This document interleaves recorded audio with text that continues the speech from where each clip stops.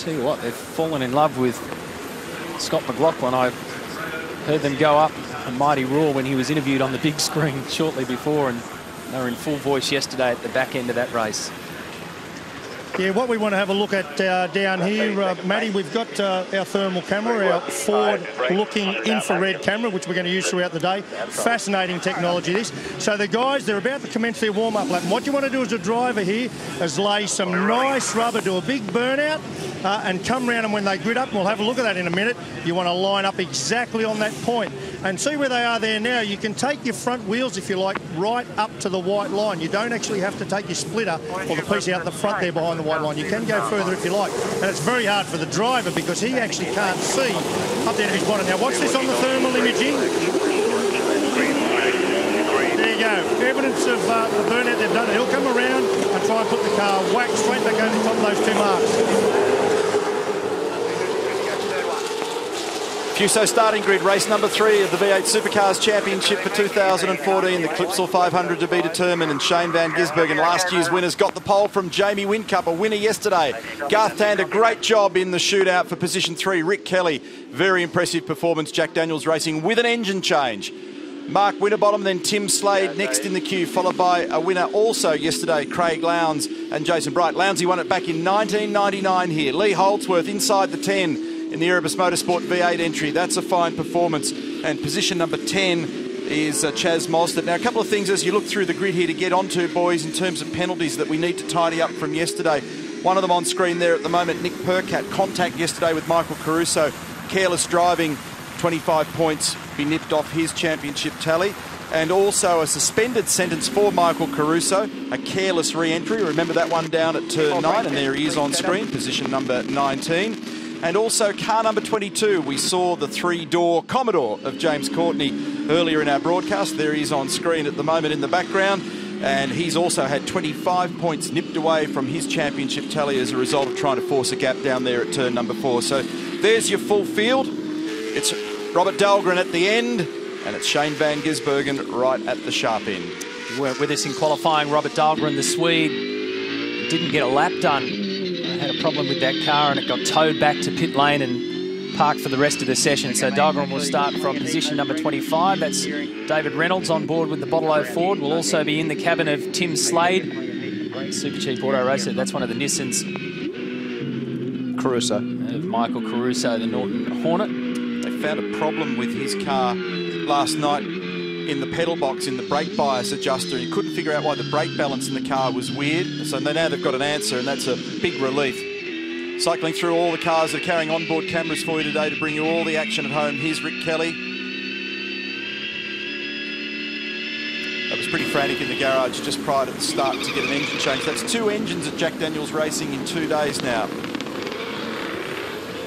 Okay, now here come the boys. Now we've got the two engineers in front of me, David Cauchi and Jeff Slater, talking their boys up to the line. This is so critical. You don't want to give away a metre here, but as I said, the driver can't see. So Shane has chosen to stop quite a way back. Jamie's coming a little further forward, just listening. Okay, this is going to be fantastic to see. They're right on top of where they did those burnouts, I can see. I'll hand over to you guys. Barrett's. Larko, as each of those drivers lines up, the corresponding official's yellow flag drops back off the wall. You'll see them cascading at the moment. Now, I'm with Shane Bunker. He has the green flag at the rear of the field. He effectively has control of the race at this point in time. He is waiting for the last yellow flag to come out. There are three to go. In a position in the center of the track. The last flag is down. We have a green flag. Green flag. third and final race of the Clipsal 500 of 2014. It's already been an extraordinary weekend and that's a great start from Jamie Whincup. From second on the grid, takes the race lead from Shane Van Gisbergen straight away and leads them through the chicane. Garth Tander nestles in behind Van Gisbergen. He actually swiped Rick Kelly, who touched the tyres. So Rick got squeezed onto the turn one tyres. You can see a lot of damage there. That's going to be a problem for him on this opening lap. Up to turn four. That Garth Tander then they didn't have room, the two of them. Garth turned across and that's hit those tyres, as Neil said. A lot of damage, a lot of drama here. Three abreast between five and six. How's the start from Whincup? He did not give Van oh. Gisbergen oh. a look in. He's just checking whether it's got steering because because if he gets to this corner and it pops a tyre, you have a massive accident. And the fact that Rick was delayed has actually opened up that gap to the top three cars and it's created a queue in behind and here they are. Lowndes looking down the inside of Tim Slade at nine.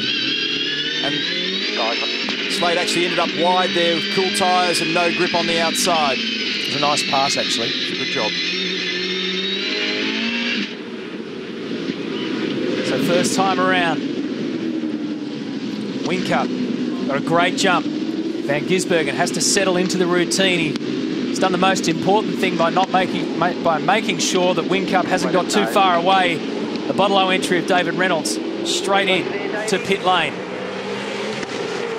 Let's keep our eyes on car 15, see if he's got full control of it. He's managed to complete a lap, Rick Kelly.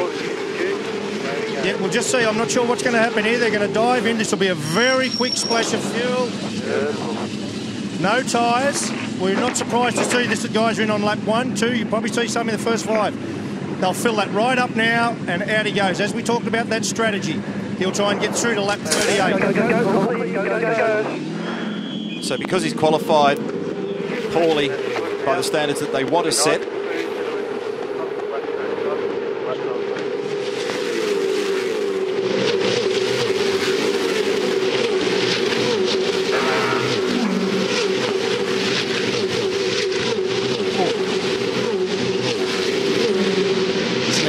It's a seriously good corner, isn't it? At Bottle O Racing, what they wanted to do there was to be able to just tick off one of the mandatory stops, get that out of the way, get some fuel on board, and hope that strategy gives them a benefit later in the race. That's what they're trying to do. Van Gisbergen looking racy down the inside at the final corner. Jamie Whincup's had one or two troubles there this weekend, actually trying to get that car turned and stopped and pick the throttle up on the other side. You can see him glimpsing the rear view mirror down to turn one. He was disappointed yesterday to let that one get away in the battle with Scotty McLaughlin. He loved the exchange. He thought it was a brilliant battle. And he was also a little bit wounded by the reaction of the crowd at the end of the day as well. He did get an excellent start. Here's the replay of the race three start. It was a beautiful jump in car one. Look at him. He just leapt away from Van Gisberg. And Rick Kelly got a good start as well. But focus on Tander and Kelly and watch what happens down here at one. So the squeeze from the uh, right side of the car on uh, Rick squeezed him across to the left and onto the tyres. He was lucky he didn't end that's up almost a crash. Around. Well, that's almost in the fence, isn't it? Mm. Yeah. Todd uh, Kelly. Throttle cable. He, he, says it's got no throttle, it's just idling. Broken throttle cable. Van Gisbergen had a little look there on the inside at turn nine. Garth Tander was fastest for that last lap, and then Craig Lowndes posted a quick one. 122.649 is the fastest. But up to the second sector of this lap, Van Gisbergen's been the quickest out there. So instantly, Van Gisbergen has shown that maturity is coming to him as Craig Lowndes goes straight into pit lane. Chaz Mostert's going to follow him, and so too Fabian Coulthard and some others. Okay, just down here running through the pit lane, I can see the FPR boys are out for looks like uh, Mostert and Lowndes is in now. Let's have a look. Top him up for fuel. They are going to put tyres on. Unusual this early in the race. Again, this is part of that whiteboard strategy you showed you. These guys are electing to come in to get their first stop out of the way. Probably about 30 litres going in the car. Now they know the next time they come in, they've got to put 900 litres in to get that 140 and they're done. One stop out of the way, good strategy. That would have been a second or two longer than it should have been because I was watching closely at our window here. The fuel man couldn't get in properly, couldn't engage properly. He was shaking his head, so it was a couple of seconds delay before they managed to start running that fuel the couplings. The angle on those hoses is critical in the coupling in order to be able to get the dry brake coupled up and get the fuel delivered. And if you don't have the inbound angle correct, they just don't couple. So here's Todd Kelly limping with no throttle percentage in a very awkward spot. The white Gee. flags indicating to the other competitors that there's a slow car. Lucky no one's around. That's mm, right at the apex there. And so he's limping that car back home. Here's the little battle going on at the front. It's 0.2 of a second according to the computer. You can see how tight that margin is. James Courtney, meantime, pretty quick back in the pack here at 11th.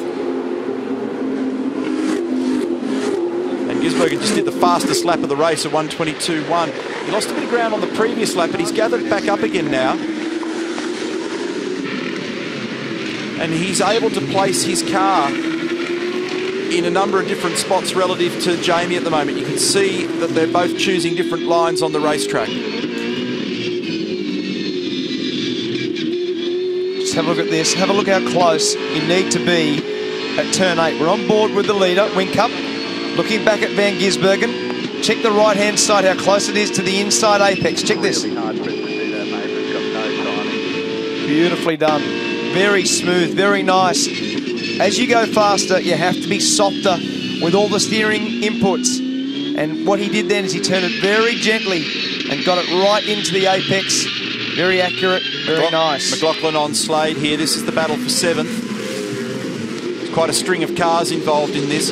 Tim's car doesn't look to settle off those curbs as nicely as it No. should. It bounces. It's got an oscillation in the car that's ongoing. Todd's pulled to the grass to get out of the way there. Smart move, Todd. Just to give everybody space, and the Holden Racing team have brought car number 22 in for his first compulsory stop. So when Neil's talking about the way that the car rides the curb, the way that you've got to do it and do it nicely is when they come off the curb, the car's got to settle immediately. You can see it doesn't. Guys, James Courtney in for his first stop. It'll be four tyres, fuel. They are waiting. The thing that's impressive in pit lane is just how good the crews are at this first hit out of the year. I mean, obviously they do their practice away from the track, but to be this slick at this stage of the year is fantastic. Courtney away.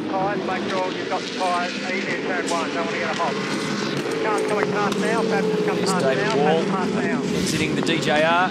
This is Chaz Mostert car number six. And that's the tyre bundle. At turn one, slam. Just rips apart the front splitter. It was a power steering drama for him in race one yesterday, Larko. Yeah, just interesting watching James Courtney put his four tyres there. A lot of this will be about what tyre bank you've got. This is going to be a tough afternoon, but you saw Craig Lowndes put two tyres on him. He did a little bit of that yesterday, and you can almost bet as a result of that he will have a good tyre bank and expect four tyres later in the day when it really matters. That was Jason Bright you saw moving to fifth, and McLaughlin has got through on Tim Slade there, seventh. So Whincup, Whincup, Van Gisbergen, Tander, Rick Kelly, Bright, Winterbottom, McLaughlin, Slade. Then Holdsworth and Moffat. That's the 10. Oh, that was a nasty leap over that second curb there for McLaughlin. He slid up to the second curb, and this is Nick Percat. We can hear them in the background on the radio. Fastest lap of the race being time of 121.7 for Whincup. Penalty yesterday for Percat. This man also suspended penalty for the dangerous rejoin. So three cars in the pit lane. Todd Kelly did get back in there, and they'll be looking at that throttle cable problem or whatever it is with the throttle assembly on that car. Ooh, a big squeeze for room on the inside. James Courtney into turn one. You can see the amount of fuel going in, Neil. And only after now seven laps of 78, they've obviously started the cars without full load. So roughly between 60 and 70 litres of fuel have been put in the car to start with, which means you can actually put that fuel in so early in the race. What is so impressive in these longer races is just how quickly the engineers can change strategy on the hop. Scotty McLaughlin's crew were in pit lane, ready for him to come in for a stop, but he finally got that clear air that he needed, and now he's got the clear traffic, so they've come back in and resetting their strategy for this race. It's a good point. It's, sorry, Neil. It's a good point. So that's what you're looking for. So important in this sort of race to make sure you're out and you're using your own car speed. Well, if you watched our coverage yesterday in race one, you saw Whincup and Red Bull Racing Australia give a good lesson on that. They got two tyres on that car. They shot him out there in clear air, and it worked very well. And later in the race, there was a dividend for it. Here's a replay of McLaughlin getting that pass done on Tim Slade from the chopper down at turn nine. Tim's giving him plenty of space. Fair slide going on for McLaughlin to get through because he was completely brake limited there. And car number 36, black flag, pit lane penalty for uh, exceeding the pit lane speed limit. That's Michael Caruso, the Nissan Hornets entry. Yeah, and just reflecting quickly on further on those strategy comments, uh, very much in the way that Whincup is out in front. You hear us often talk about track position. Well, there's two things that are king when defining your strategy. Track position, that can be out in front or in clear air, as we saw with Scotty Block McLaughlin, and speed. And if you've got track position and speed, all of a sudden you're in charge of the strategy game. Rick Kelly has his hands full with Jason Bright on the charge and Mark Winterbottom behind him. Jamie Whincup leads the race by just under a second from Shane Van Gisbergen, who continues to put pressure on the leader. Garth Tander's in at third. And the final 250 Ks are underway.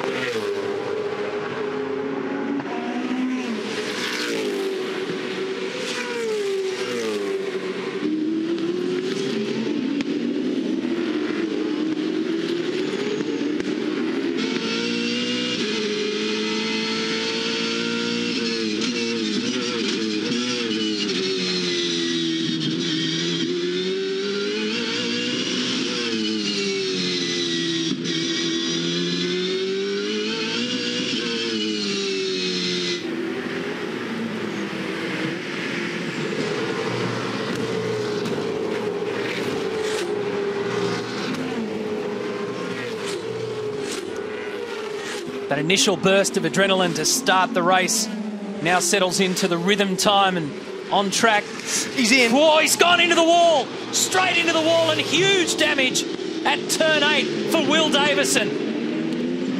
Turned it in so, so Flipped me into turn eight. I've gone in hard.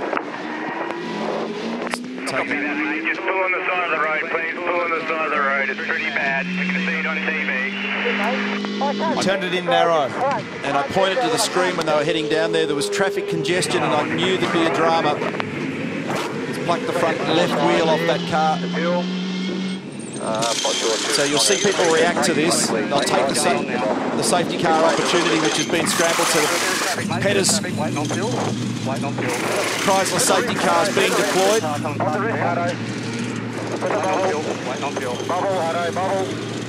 So Whincup, Tander, Bright, Winterbottom, McLaughlin, Slade, Pye, Moffat, Wood and Ingle all took the opportunity to come straight in. You are the leader. Go, go. Quick reaction time from the oh, crews. That's a mess. That is a mess. Go oh. now. Don't That's hit the cost car. Mark Don't hit the Winterbottom. No, no brake. I've got no brake. Can't help you with the front straight, mate. Can't help you. That's the damage that Chaz Mostert did to the front of car six at the tyre bundle in turn one. It's just that mad scramble that you hear. And it's just ripped the front left straight off the car. Taking the door with it. Huge damage. So he's narrow because he rounded up James Moffat. I can see it all brewing in the background. Anytime you go narrow into turn eight, oh, he there was got a little touch. bump. There was a touch as well. That didn't help. So a little bump just now, just changes the trajectory, can't get it turned. And that really caused it. Now, he may have been very close by himself because he was already on a very narrow line, but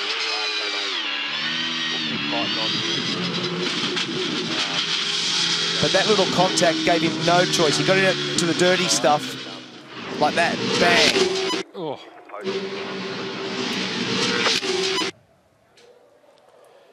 This is view from our two cameras, Betty Klimenko and Ryan Maddison. Betty, the team owner, and Ryan, the CEO of Erebus Motorsport. Will will be shattered.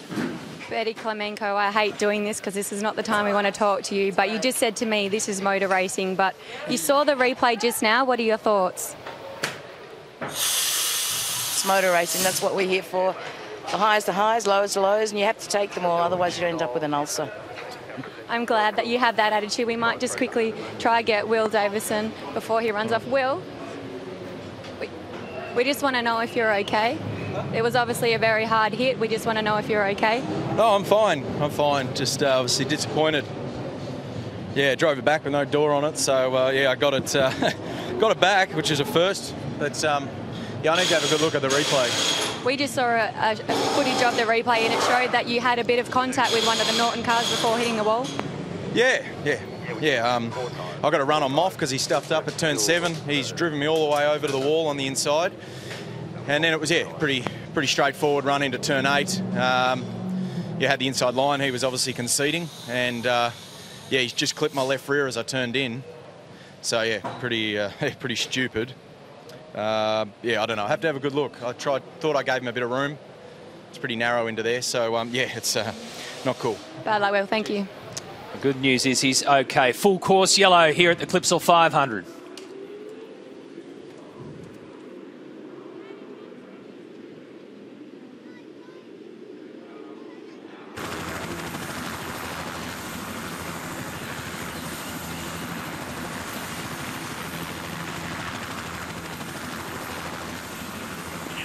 Okay, we're going for another lap, um, Sarah. After this, car, we just need to make sure that we've uh, cleaned up the debris there at the exit of that corner. So when you go through eight, just keep to the middle of the road, please, uh, and we'll just do some more sweeping. Uh, you can increase your speed to 100 on the straights.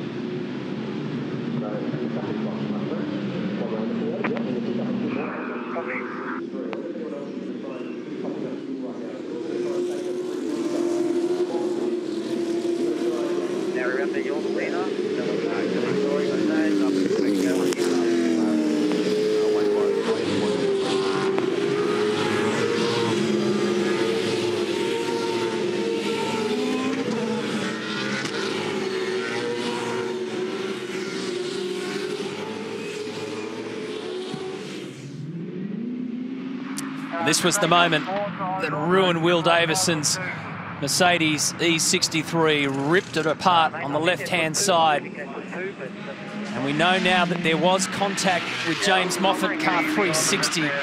And that's 240 kilometres on approach into that turn, and you just whack straight into the concrete wall. So what do you think? Should Moff be penalised for that move? v8supercars.com.au slash vote. Or go via our 7 Sport app and have your say on the viewer vote. Will Davison is not a happy man.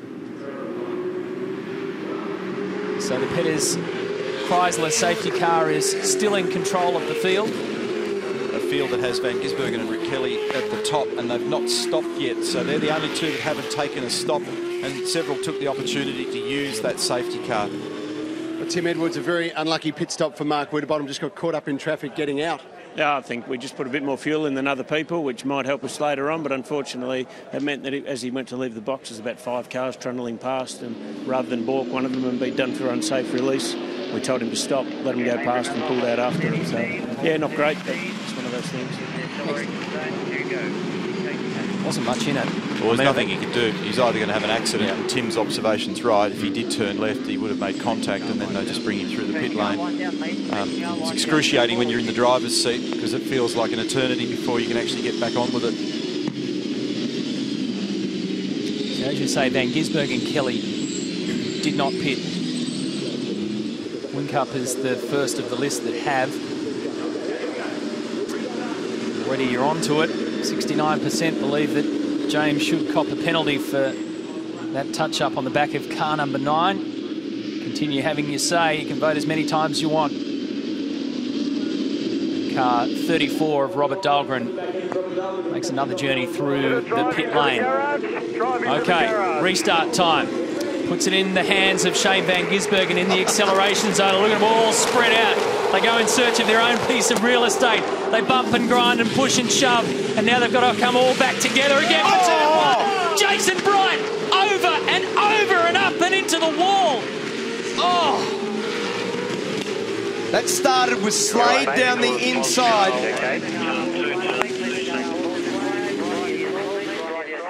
Yep, I'm fine. Just uh, give us a radio call if you're there, buddy. Huge damage to car 16 of Scott Pye again. Yep. Check, please. You and got me. Chaz Mostert. Team Cairo, Adele White, Wally Story in the foreground, engineer.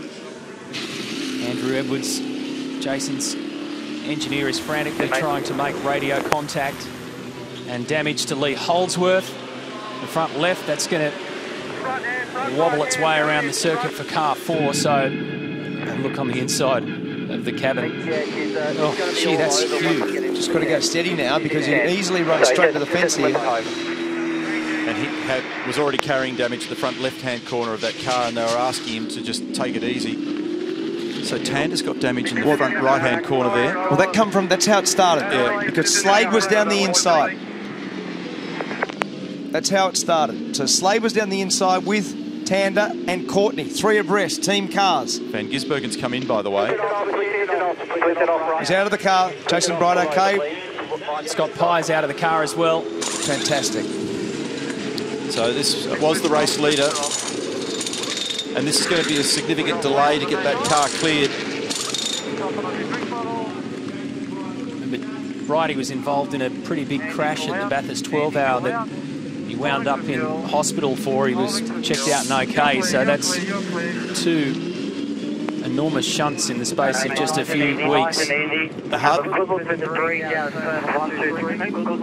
the hard thing when you're upside down in the belts is actually to be able to safely manoeuvre yourself out of the car. When um, electronics in the car after a prescribed period don't sense any action from the crank trigger. The electronics in the car shut down. Here's the replay. This will give us some explanations. We'll try to come in together. So it's Tim Slade leans on the Holden Racing Team car, which just sends Team BOC Commodore flipping into the air. This was what happened. They all fanned out and then they all came back in and it was never going to work. Van Gisbergen and Kelly get through and then watch car 47 just pushes across and it doesn't take much for Garth Tander just to lean on the front left-hand side of Jason Bright. It's that secondary impact that's the worry there with the wall and it got right up on the top of the debris fence. This is Lee Holdsworth's view. Oh, that was the big crunch that he... Okay, so he got hit by Scott Pye and a few others. The contact actually started with the two Red Bull cars. They actually made contact on the way in there also. There's Slade down the inside. He makes contact with Tander. Tander makes contact with Bright. Totally out on the slide. Full opposite lock, so he's trying to steer it down. So Jason's trying to make sure it doesn't turn onto its roof.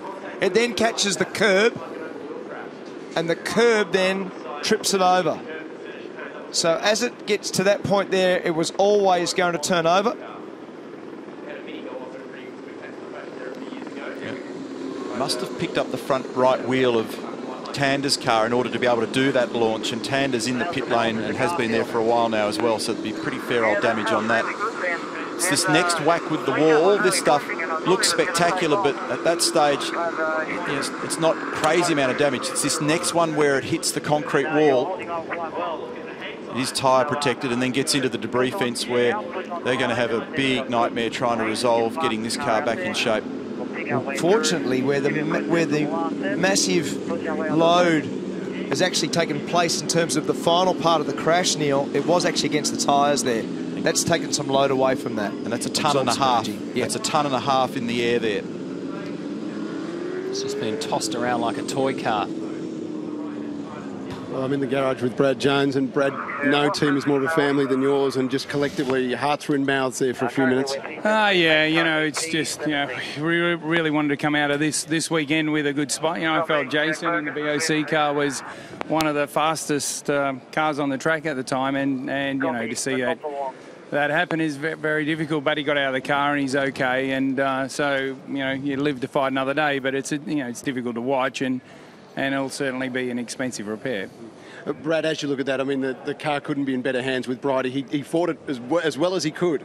I don't think you have a lot of control over them when they're flying through the air like that, Barrett's. You can steer it as hard as you want and dab the brake, but you know, anyone could roll a car over here. That could happen to anyone. But the good news is he's got out of the car. He's fine. You know, the cars are built to a, a very high standard of safety, and um, the car's done its job. And it's just unfortunate that um, we're going to leave here and we have to be on the back foot in the championship with that team because I, I really felt they had a good chance this year. Good on you, Brad. Thanks, mate. Thank you. Another bloke we'll talk to, uh, Tim Edwards, principal down here at FPR, Ford Performance Racing. Amazing how this game can just turn like that, isn't it, mate? You had your pit stop drama, well, not a drama, a decision you had to make with Frosty. And then, of course, Chaz out there. Now, we saw him trying to limp home. What finally pulled him up? Uh, we were monitoring the telemetry and then all of a sudden it lost oil pressure, so obviously not going to risk the engine, so we just got him to turn the car off. What's I assume it's ripped the line off in the incident down there? Ah, oh, I suspect the oil cooler, everything. You know, he's lost steering as well, so there's a fair bit of front end damage to it. It's, it's a long way back, so I don't think there was any chance we are going to get back, back out again anyway. Tim, you must be pleased, though. I mean, you've been close to this whole development of this new generation of car, and it's incidents like this, as ugly as they are, uh, it's great to see the drivers get out as they do. I mean, it's a great endorsement of the vehicle, isn't it? Oh, absolutely. I mean, we saw that accident with Courtney last year as well, and I mean, we've seen similar accidents in the past that have been, you know, a lot more serious consequences. So, absolutely, they're a lot safer. Yep, that does bring a tear to my eye looking at the screen now, but at the end of the day, it's you know we can repair it. It's just a bit frustrating that how it's happened. I guess the most important thing is, mate, it's the points issue, isn't it? Because you've got to build a foundation at Clipsal for the year. Yeah, I mean, one of the things we talked about in our pre-brief last week was that, you know, we want to come out here with a decent points haul. You know, we might not go away with 300 points, but if we can come away with a good points haul, you know, Frosty, unfortunately, last year lost 150 points in the first race, and he chased for the whole year to try and get that back. Sometimes you end up overdriving because you're trying to, you know, you're trying to catch up.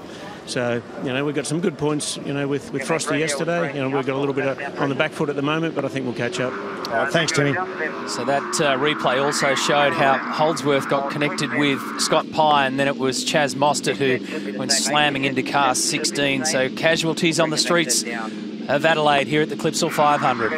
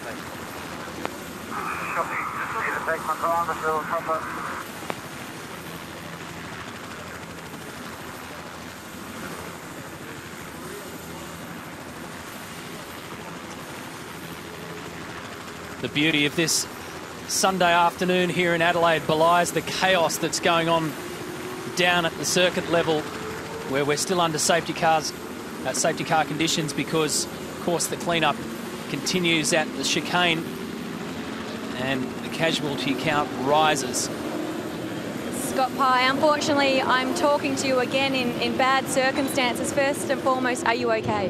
Yeah, yeah, I'm fine. Just crutch, crutch straps got me, but um, yeah, I mean, I, th- I, think to be honest, the starts are a joke. Uh, doing a restart like that, you've got 25 cars, and uh, it only took what happened then was one bad start from someone, and you've got well, just in front of me, I was following three cars going into turn one side by side. It's just it's never going to work. And unfortunately, Bridie and myself uh, have come off the worst. But yeah, I think it's a joke. I mean, the last the, the old safety car period seemed to work fine. I don't know what we're what we're thinking here.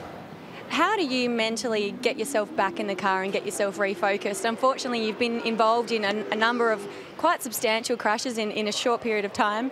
How do you, how do you get yourself refocused? Yeah, I think we're always prepared that that can happen out there. Obviously, I'm still standing here and I'm fine, so it hasn't bothered me at all. It's just it's uh, it's obviously frustrated me no end, and and obviously for the boys as well. You know, it's not you don't want to be tearing up cars. Obviously, last year was mechanical, and today's just bad luck. But uh, yeah, there's nothing you can do about it, unfortunately. Um, those sorts of things just piss you off because you can't. You know, it's not my fault. It's not Bridie's fault. Uh, it's just just bad luck at the end of the day. There's nothing you can do about it. We're glad you're okay, and we're looking forward to seeing you out there soon. Thanks, guys. Cheers. Lee Holdsworth back in the garage. Lee, uh, your view on what happened out there with Jason Bright? What did you see? Oh, look, these restarts are an absolute joke at the moment. They've got this um, new acceleration zone. It's just not working. We all know, knew it would create an absolute uh, chaos at turn one, and fair enough, you know, sure enough it did. And um, I saw Bridie getting turned by someone. He went up onto two wheels, and I was trying to avoid the whole thing by going through the gravel trap. And then uh, I think it was Scott Pye came straight across the front of me, tore the front end out of it. Hopefully we get some points and get back out there, but I'm just, uh, we can't take a trick at the moment. Thanks, Lee. All the best. Thanks, mate.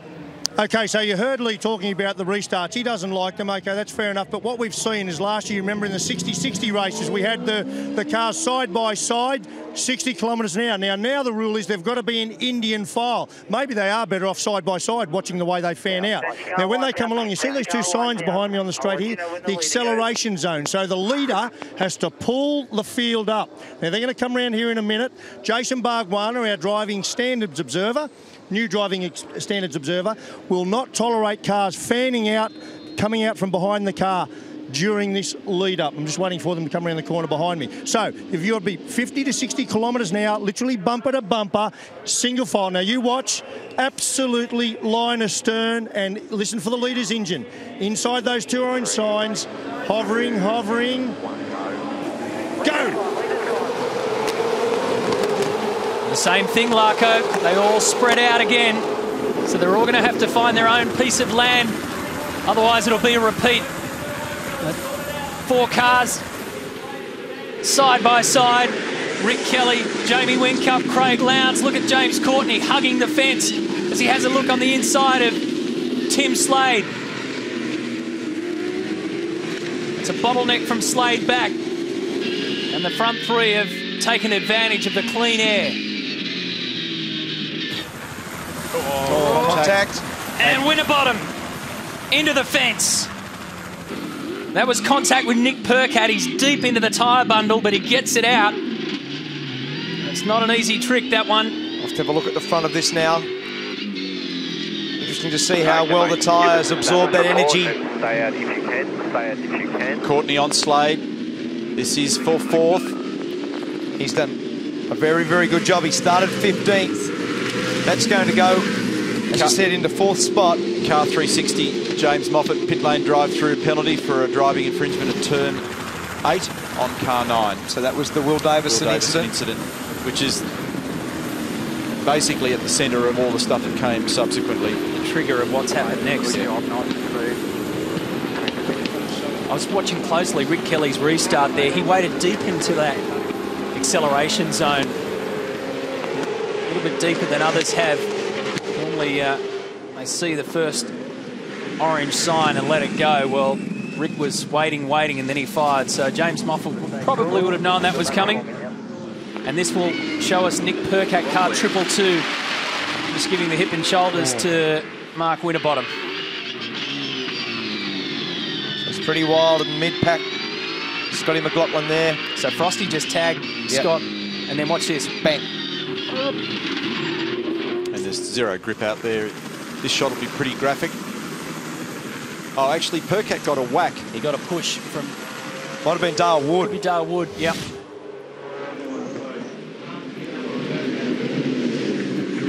There's always more to it, isn't there? Well, it was also a circumstance. 97 and 15. Pit lane drive-through penalty. Accelerating too early prior to the AZ zone in that first safety car deployment. Oh, Tim Schenken. So First 15 one. and 97. Yeah. In the first one. Yep. Because I sure would have debated that if it was the second one, because Kelly waited and waited. Okay, so the first one. So that's Rick Kelly here on screen and Shane Van Gisbergen, who's 11th. It's going to put him out. Kelly currently leading. And he hasn't taken a stop at this point. Fabian Coulthard's done a really good job, Neil. He started 16th. He's currently 6th. Dave Reynolds, 22nd to 7th. Ingall, 24th to 13th. And as we said, James Courtney, 15th to 4th. They're the real winners so far in terms of making ground in the early stages. The 78 lap, 250k closing part of the Clipsal 500.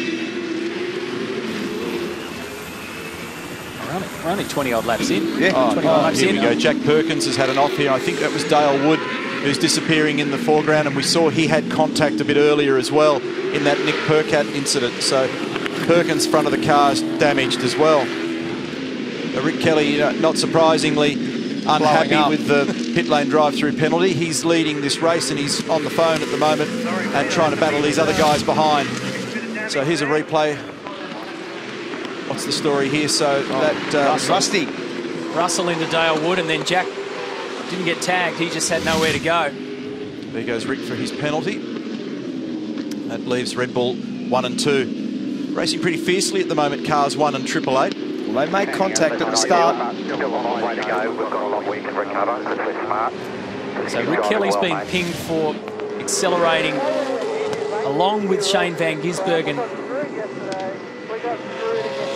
prior to the acceleration zone. It's hard to tell from that angle, but gee.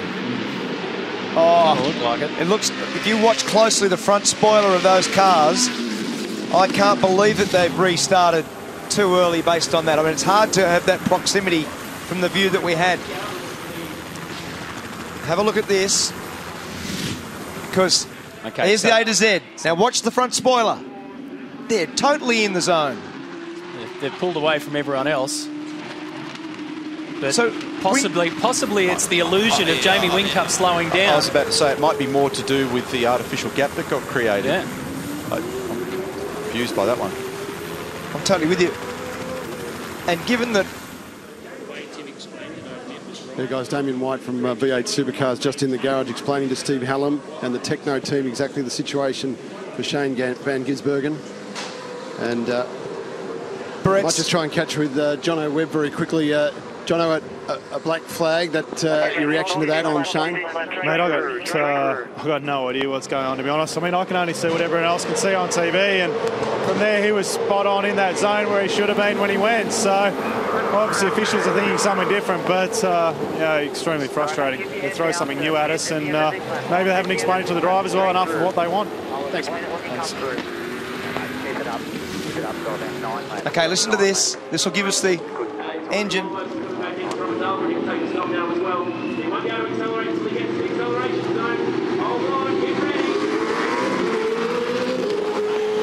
yeah, I'm, and Whincup definitely slowed up. And you're supposed to be within one one car length. So I reckon they were in. I reckon they were in the zone. I reckon they've been pinned unfairly. Hard to tell from those angles. You never know. But what it has done, it's cost Rick Kelly and Shane Van Gisbergen a crack at this race. They're going to have to do it the hard way if they're going to do it. Back after this.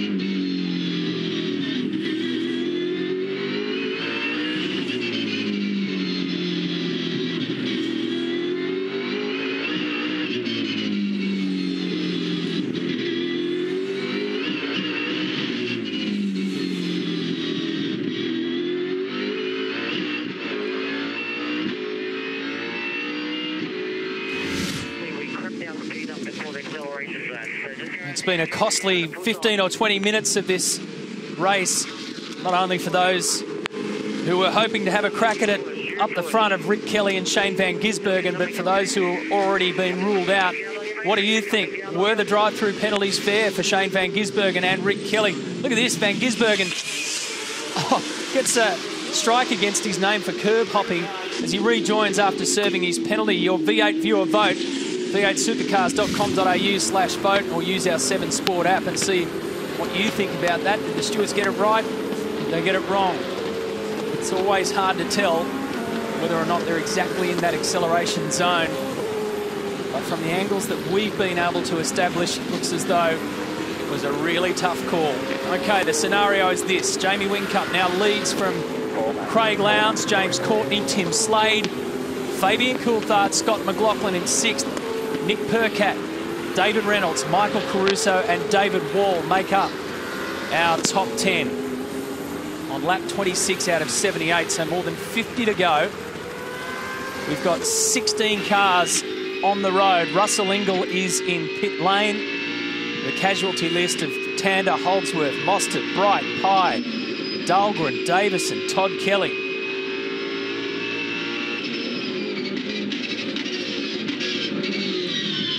Those survival days. Mark and I have been uh, looking in the ops manual just to get a grasp of what's going on out there at the moment. And um, the rule as they approach that acceleration zone, the time the safety car accelerates away from the lead car, will then dictate the speed, which must be less than 60 kilometres an hour, no more than 50 kilometres an hour. The practice of aggressively accelerating and or braking and or moving left or right is prohibited from this point. All cars must remain directly in line with the car immediately in front as they approach the apex of the last turn. There must be no more than one car length behind the car immediately in front as they approach the apex of the last turn. Where I need clarification is what happens after that then, because in under the safety car in normal situation, it's, a five five car length rule that dictates it. So there will be some significant arguing going on down there at the moment. Yeah, you're on the you're on the money, Neil, because uh, we're all thinking it was conjecture about whether they fired the cars off within the zone or not. That's not the issue, and I'll let Damien White explain uh, exactly what the conjecture is over here, mate. The rule is very clear that the leader is to maintain between 50 and 60 before they get to the first acceleration zone sign. If the lead car is to accelerate beyond 60, even at a gradual pace, it is then on the second place car to maintain 50 to 60 and the front guy will get the penalty. In this case, 97 crept above that 60 before the acceleration zone. 15 maintained that gap, therefore he was then in breach. Car 1, bit of discipline there, maintained that 50 to 60, no issue. The hard acceleration of 97 was correct in the AZ zone, but the penalty is because he exceeded the 60 limit before entering that AZ. Very well put. If you go back and have a look at the vision, I reckon Damo is exactly right. Okay. Okay, my question is how do we know that? How do we know it, Larko? Ask him. Sorry, mate, we're, we're just keen to know how do you know that? How do you know the facts that you've just stated? What are the tools to use? We have radar, of course, but we, it was explained at the driver's briefing. The other aspect we've got is a visual, and visually, by the other 23 cars maintaining 50 to 60, and you've got two others accelerating away before the AZ, it's reasonable to assume, in conjunction with all the other bits and pieces we've got going on, that there was a breach. There's no question there was a breach. Pretty clear. Okay. Well, the argument will rage. It will continue to rage. And our V8 viewer vote is going heavily in favour of the drivers on that one. Jamie Whincup leads the race. Controversy here at the Clipsal. There wouldn't be an event here in Adelaide without it. And carnage as well. And still a long, long way to go.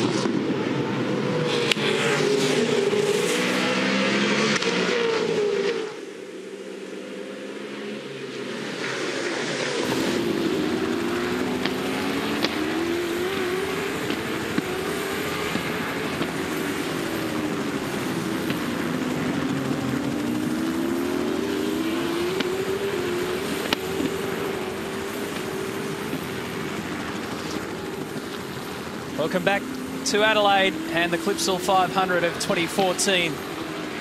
Well, there's just under 50 laps to go. And there are 17 cars now on the road. Garth Tander has rejoined the efforts, the mad scramble to get some points. So let's bring you up to speed with what's happened so far. Well, a lot's happened from the start.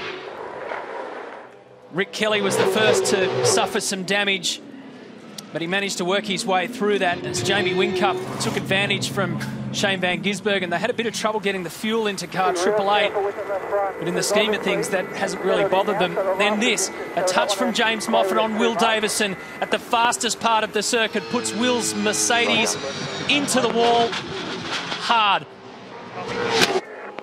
And that's the end of both of our cameras down there as Betty Klimenko watches on. Will's okay.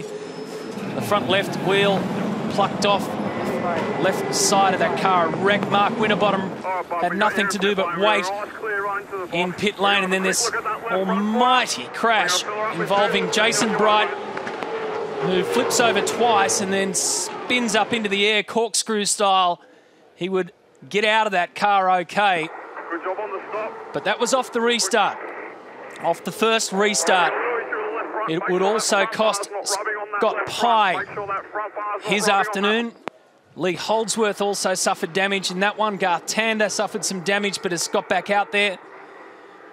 And that's about one and a half tonnes of V8 supercar just thrown into the air like a matchbox car.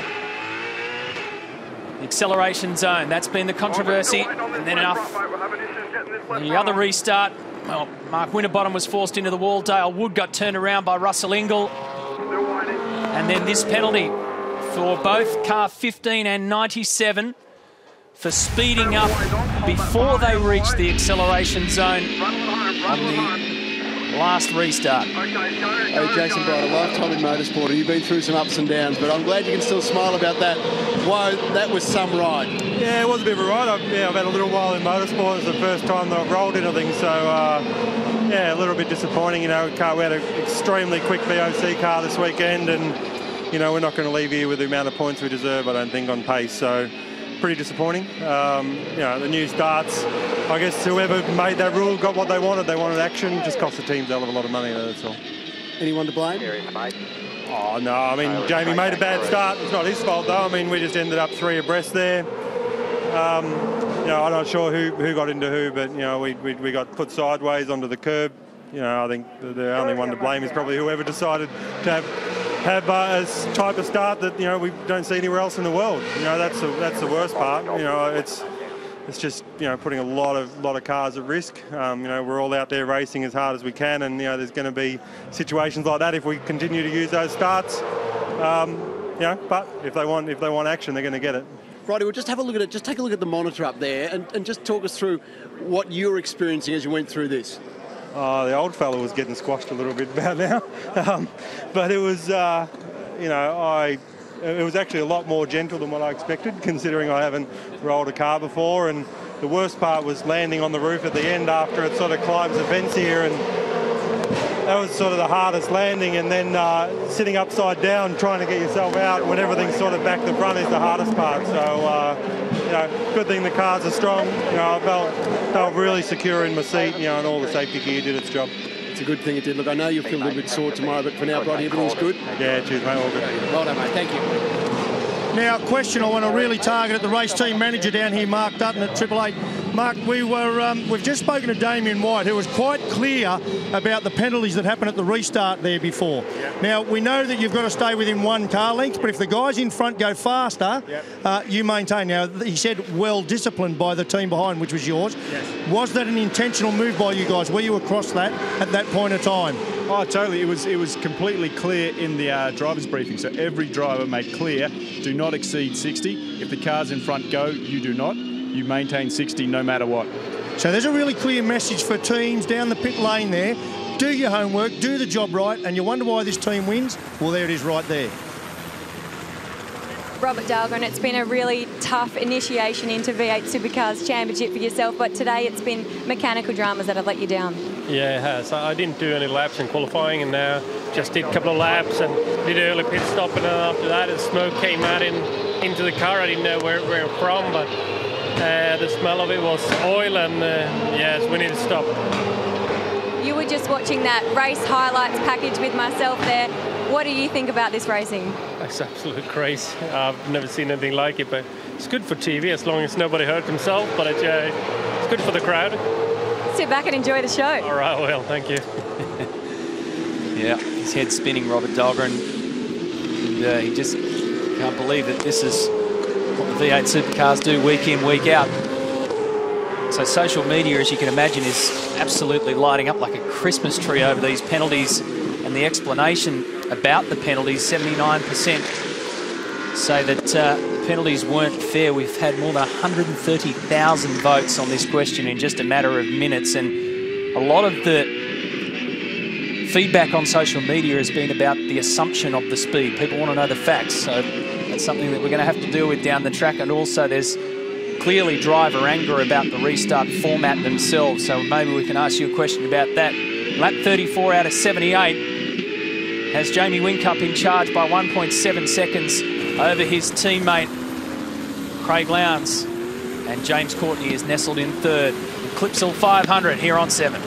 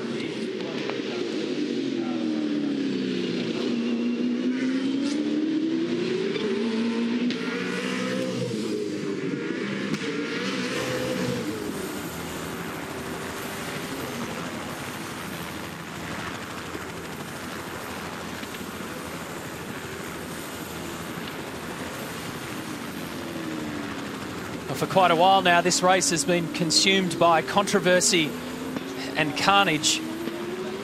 Now we're back into a real race rhythm. And it's Red Bull Racing Australia at the front. Two Walkinshaw Commodores chasing of Courtney and Slade. Then Scott McLaughlin, the Volvo.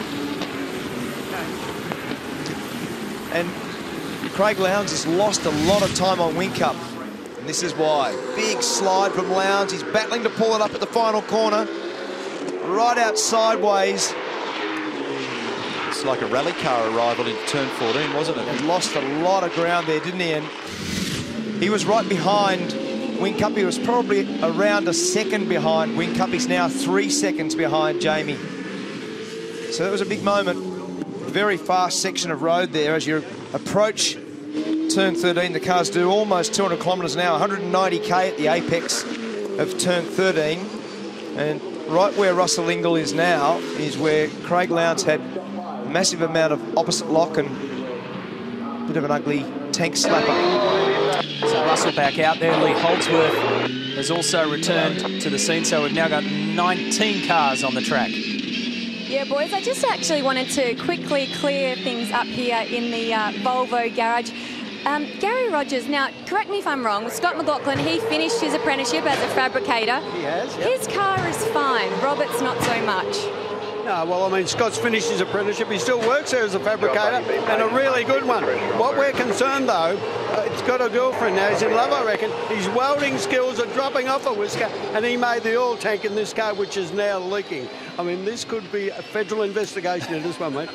We'll get it. We'll get the feds onto it. Yeah, good on you, mate. So it's the oil problem that's ruled Robert Dahlgren out. Slade's just had some drama because he was right up behind Courtney. And now, as we go on board with Scott McLaughlin, he's right behind Slade. So Slade's fallen back by about 2.3 seconds from Courtney. So that's Slade. Just up the road there is Courtney. So he's also had a bit of a moment.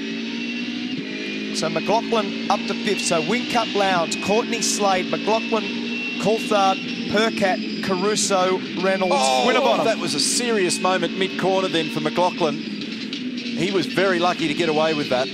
Rear of the car stepped out on him. Tim Slade in the foreground. Yeah, indeed. Looks like he just got that inside curb compo. Yeah, I'm not sure what triggered it, but you could see he grabbed a huge amount of opposite lock. He's fifth at the moment. And Lowndes is on two curb strikes as well. Here's the overhead shot from the chopper. It'll tell a bit more of the story. Look to see whether he grabs that curb that Matt mentioned on the inside, on the right of the car. Uh, I think he just had a moment. Just went in there too quick. Also in the disturbed air from Hard the, to tell. Here we go. no, Yeah, just a moment. Just had a moment. Just got away from him. Just balance-wise, not as good as the race has progressed. Look at this. Watch his hands. attention.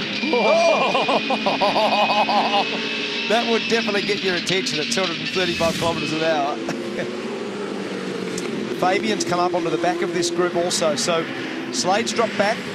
It may also be a little bit of the James Courtney story because he was the fastest car on the previous lap. I heard Rob Starr said, good work, JC, fastest car out there at the moment. So Courtney sped away. Slade's come back. Scott's trying to get by Slade, and in the meantime, Fabian, who's shown good race pace all weekend, qualified poorly, but very good race pace, has come up to the back of Scott McLaughlin. There you go. There's the three in the battle. Percat's done a good job also. He's right behind Fabian. Dale Wood with a lot of damage to the back of the Advam Commodore from Brad Jones Racing. Craig Lowndes now in the pit. Yeah, and this is very close to the money. We said lap 38 being our sort of critical number. Remember, we've had all those safety car windows, or safety car, sorry, that's pushed that window out. Uh, I've just been along and had a look at the sight glasses and all the little fill-ups, the tanks along the pit lane, and there's a variety of options. Going, there you are, four tyres. We said that earlier on. Craig has saved his tyre bank for the weekend, and four tyres now would be a highly valuable commodity to put onto your race car, believe me. Thank you. Waiting for fuel. United E85 going into the car. We observed a bit of a scuff down the side of Lowndes' car there, down the left-hand side of the car, which may have happened down at the turn one tyre bundle. So the refuel are waiting to see fuel coming back up the vent side of those tubes. Make sure we get to the end. Done. 39 laps to go. Halfway through the race, so those tyres did about the same as they're going to do now. That's good information from Jeremy to Craig to basically give him a guide of the number of laps the tyres do so that you understand for the next segment of the race what's going to happen. Here we go, a little bit of bumping and a change, change of position. spot. Yeah. So McLaughlin now has cleared Tim Slade. So that puts McLaughlin into fourth. Good run. Now third, Third after because of Lowndes Lowndes. has stopped. And uh, Fabian's going with it. Fabian did a good job, as you made a job, point earlier, Mark, about not having a, ahead. A supercar in qualifying, but just did a nice job yesterday in points recovery. Here's the move down at the hairpin at turn nine. Tim's left him a big pile of space down there. Been pretty gentlemanly down there, hasn't he? Yeah, had a little rub on the exit, but it was uh, it was a pretty easy manoeuvre. Tim said that in yesterday's race, the car went away a lot in the rear, so he may have a repetition of the same issue. Well, you could hear it then. So one of the things that happened is as the tyres come off, the braking performance is also reduced. Obviously, Winterbottom in. Must have got away with that where he went into the fence with a contact with Percat.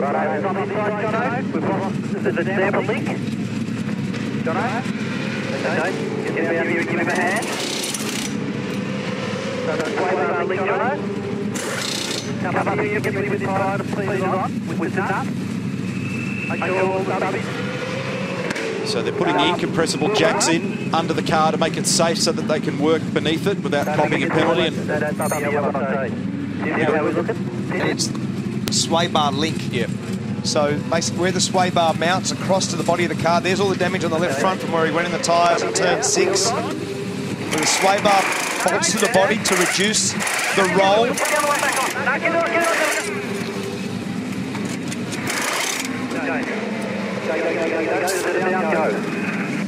It was all a bit messy, but what they had to do was replace that link because the front roll stiffness, if you haven't got the sway bar or the anti-roll bar hooked up, the front of the car is way too soft. So they had to replace the link to ensure that the chassis performance or the chassis dynamics were going to be good enough for the final part of this race. Okay, Tommy, go to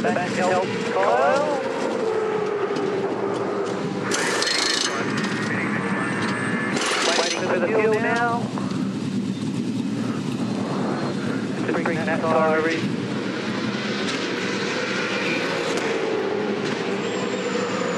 Almost there, Davey. Go, go, go, go, go, please, go, go. Feels like a lifetime waiting for all that fuel to go in. Slotting up that HRT, mate. So Courtney, a really solid job here. Started 15th, so he's done a really good job. It's obviously a little bit out of sync now because they haven't made their second stops, but he's as he comes in. Sorry, Skaife, if I can just show. So this is the back of the Holden Racing Team fuel cells that are in the garages here. You see the side glass here? So this is how we know how much fuel they put in their cars. If I pop my head out here, okay, in goes fuel. Oh, that's a bad stop. They've gone past where he needed to. Now he's got a digital readout you can see in here. He knows precisely how much fuel he wants to put in. Fuel in there, that's the ethanol, 85 going in, United Ethanol 85, and the other clear hose coming out is the breather. So when it's full, it'll breathe back up that hose that goes back into the tank. A lot of pressure to do that. To engage that looks simple, but believe me, it is not. And those numbers that Larko referred to as seconds,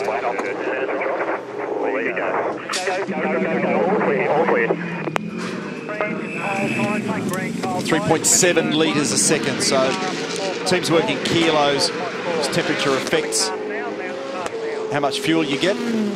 So that's why they're looking at those numbers on that uh, fueling rig. Just listen to Tim Slade there. When he is trying to stop the car at turn nine, the chatter is the rear wheels locking and the drive line basically makes that noise, that chatter noise, as it meshes in the gears. So when he feels that, it's like putting the handbrake on because remember the cars haven't got a diff. The rear wheels do the same speed, both sides, rear, left and rear, left and right. So by the time you get to a point where the rear wheels are locking, it's like the handbrake coming on. Yeah, 60 comes in, the Garry Rogers Motorsport crew. Just take it easy. They know they've got the time, the fuel to go in.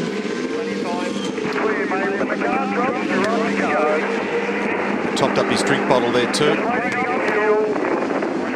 Nice composed stop. Well done. That was a very nice. It's altering the rear, rear anti-roll bar to cope with the additional fuel load. So here's Lowndes, just coming by the pit there now. Actually, he's out wide of Ooh, Jack Perkins here. That's held him up. McLaughlin comes out in front of James Courtney. He's going to have to move it over because Courtney will dive at him. I think he did. Yes, he did. So when you come out on cold tyres, it's hard to defend.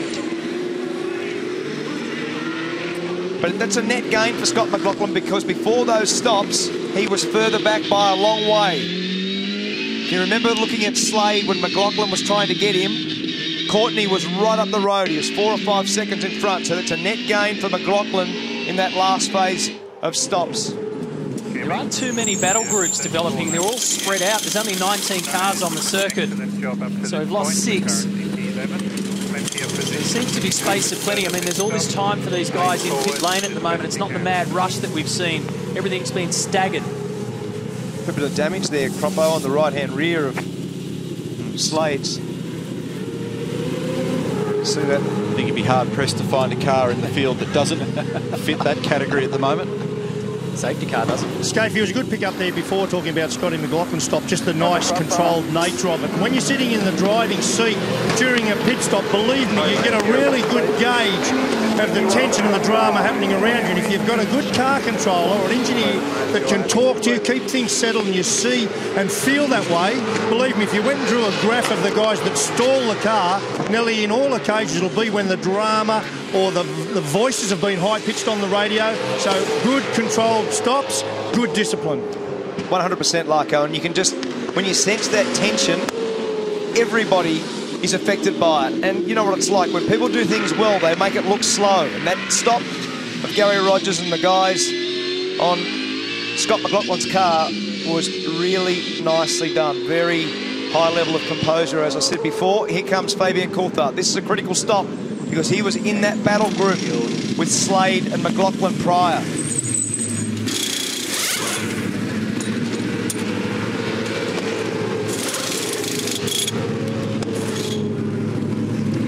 Just putting some dry ice in the passenger side of that car, the driver cool suit system. 13 seconds. Chris Clark. 17 seconds. 18 seconds. 19 seconds. Um, you guys going to be for us, so um, it's going to be uh, go, go, go, go, go. See what I mean about space? Aside from that exit there from uh, Fabian Coulthard with Michael Caruso coming through the lane. There's lots of air gaps in between cars. Something that we haven't touched on so far that will be noticeable in the cockpits of the car at the moment. They'll be hot and they will be tired. Two hard races yesterday and they've been through their qualify, uh, qualifying procedures and the shootout for the key 10 earlier today. Right about now, particularly if your car's not bright and shiny in its performance, it will be starting to get physically very, very hard and mentally very hard. Absolutely. This is the grueling part of the race. In fact, I never used to get the guys to tell me how many laps I've done until I got to 25 laps from the end. Because you just don't want to know. I mean, when you tell you lap 20, you say you're kidding. Adrian Burgess in the Holden Racing Team bunker. Adrian, you've parachuted in here. Things are going well, boys. So far today, holding up pretty well. Uh, yeah, it's not perfect yet, but uh, this is what we need to be doing. We've got JC running a strong third. Tim and Nick um, are doing a good job. GT's had a bit of a tough run while he was in a good position, but look, yeah, we've got a lot of work to do. But my old, uh, my old friends and foes uh, you know, up, up the road in front of us, so we've got to gun them down. Adrian, what's been the big focus since you landed in here? What, what do you want to really want to work on with the guys? Oh, we need some car speed. It's the first thing. Uh, yeah, look, we just got to uh, we just got to be smarter with what we do, with everything on track, off the track. We've got, we got a lot of work to do, but we've got very good people here. They're, everyone's keen. Everyone's coming to the party. We need to we need to put some speed on the car and uh, give the guys a better piece of equipment to use, and then we've got to make sure we do the right job on the day and, uh, and challenge the others. Sounds like exciting times, Adrian. All the best, mate. It's busy, mate. It's busy. It's a good point. When all else fails, make them fast. That's, right. That usually cures a, a range of ills. 100%. So Whincup still to do that second critical stop and then we get a sense of where this pans out and what the last segments of the race look like. Yeah, Whincup's first stop was on lap 10, so he'll be starting to have a lock on pit lane and then we'll race it flat out to the end. He leads the way here at the Clipsal 500.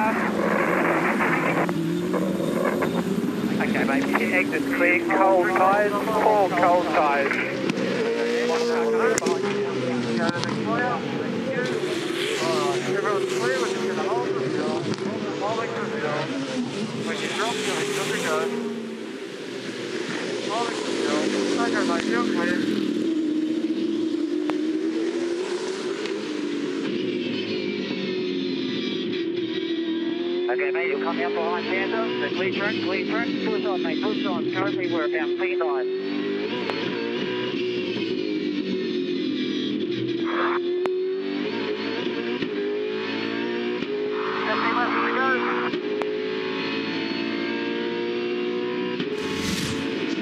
Thirty laps to go, mate. Thirty laps to go. Everybody has stopped. Thirty to Here's a critical moment in this race. The leader, Jamie Whincup, as expected, into pit lane.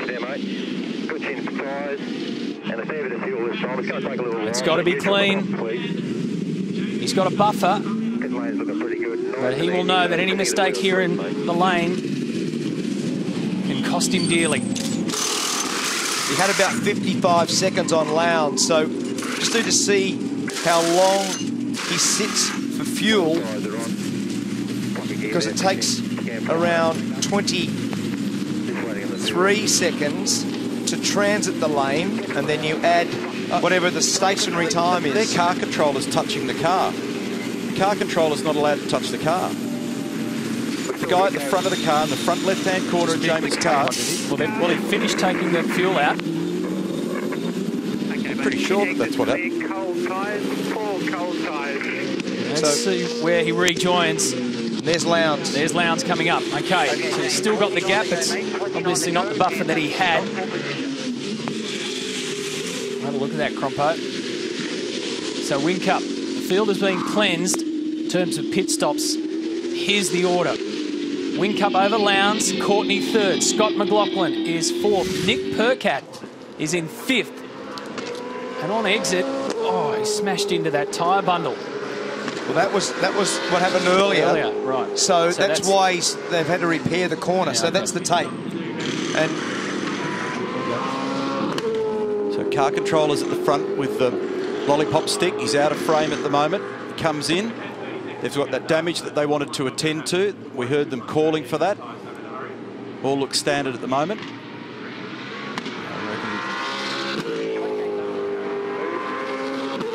Well, that's...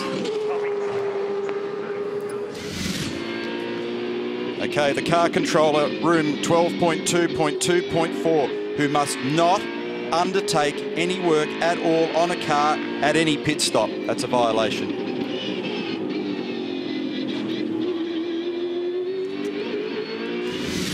Drama, drama, drama.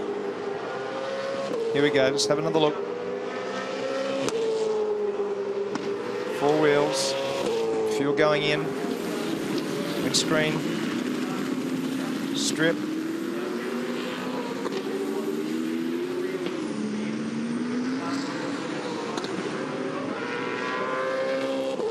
Guess the question is, Crompo, does that classify as undertaking work on the car? Who knows? As Tim Schenken race director Jason Bargwanna's in the hot seat as the driving standards observer and the investigating officer this year. It's a big job. Cam McConville's working in uh, the Porsche Carrera Cup cars for 2014. This is a good battle here between Courtney and Lowndes, and Courtney's climbed over the top of CL there in that manoeuvre. So it's Whincup first, now Courtney second, and third. 28 laps to go. Great stuff, JC. Great stuff, mate. Russell ahead. Lap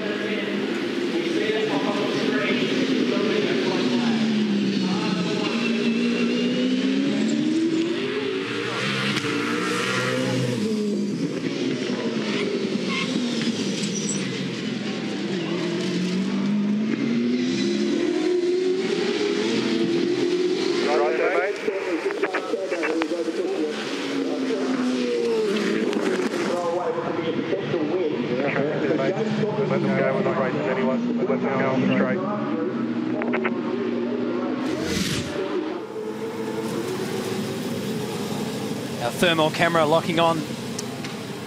Garth Tander in the pits. Look at the heat generated from those brakes. And that's where the drivers really feel the heat. Pit lane, drive-through penalty, car one. Switch of the pit lane pit stop procedure. Wow. Jamie Whincup will have to go through pit lane and serve a penalty. So you spotted it, Neil. They'll be filthy at Red Bull Racing Australia. That will mean that James Courtney will take the lead of the race. The guys, just uh, discussions going on with Mark Dutton, who is obviously just red hot into this role of uh, team manager, talking to V8 Supercar officials about that hands-on incident with the car control. As you can see, it's a fairly animated discussion. And I can tell you that they'll be debating the interpretation of work on the car. That's exactly what it looks like. Animated. It's Steve Robertson from V8 Supercar. But he's not. It's, we've got our footage. The footage is there. He's pointing. Fix the car. So the net result will be our race leader. We saw it. He was pointing out. He's the leader of the car. Understand they used to work together as well. So Steve worked at Red Bull Racing. So Mark Dutton, team manager, he'll fight for his corner, clearly.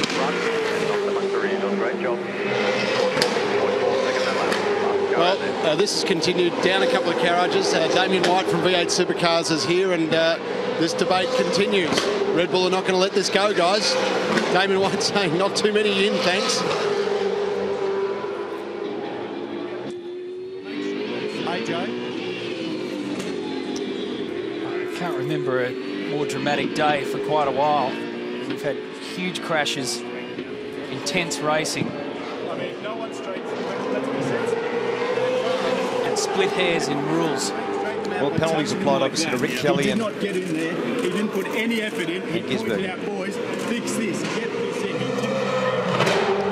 The reason they want the car controller's eyes up is he's a car controller. They want him at the front of the car to control the traffic, to mind the safety He has issues. to direct the crew to do the work. Every car controller is now pit lane.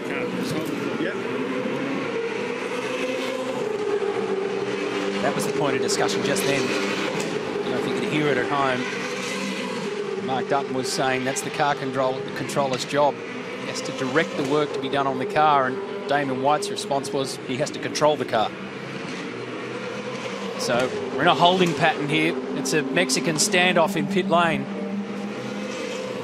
So watch the guy with the lollipop in the front left-hand corner of the car. The issue that will be is being debated is the touching of the car. And his head's down at that point. And there's an outstanding penalty that has been issued.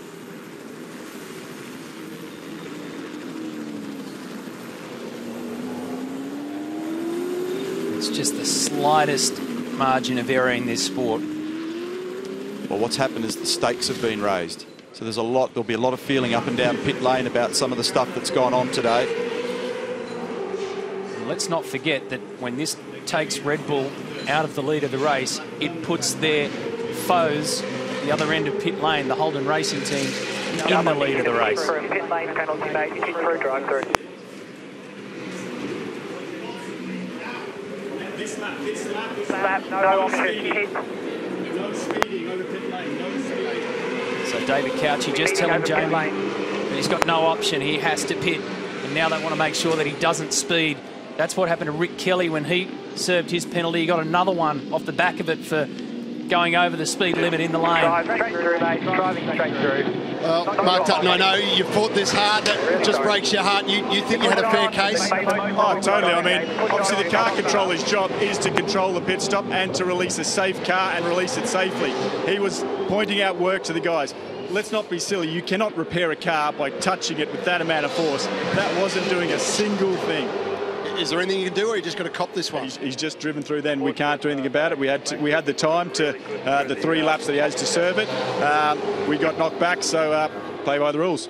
Thanks, Dado. Cheers. They're not happy with the rules, but they have to play by it. So that makes Whincup now shuffle down to position eight. He will be ropeable inside the cockpit of car one. You can see the furrowed brow when he was entering pit lane.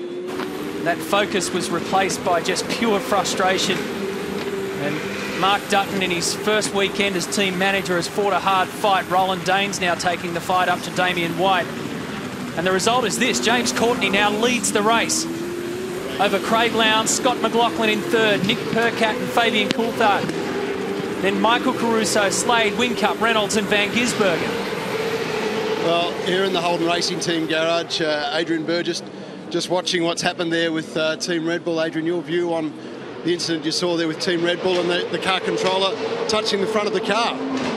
Well, uh, yeah, if they're the rules, they're the rules. Uh, yeah, what can I say? I just got to do my job in here with these guys, and if they make mistakes, uh, yeah, got to put them under pressure and make the most of it. So, well, this is a long way from being over yet.